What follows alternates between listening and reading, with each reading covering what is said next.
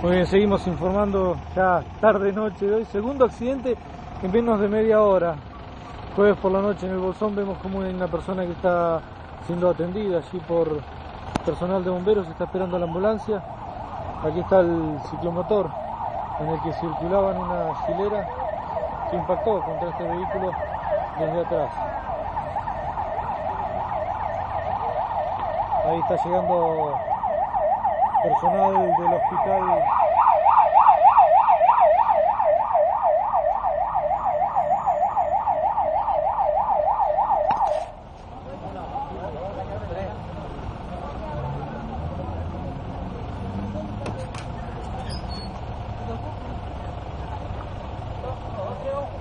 Segundo accidente en menos de 30 minutos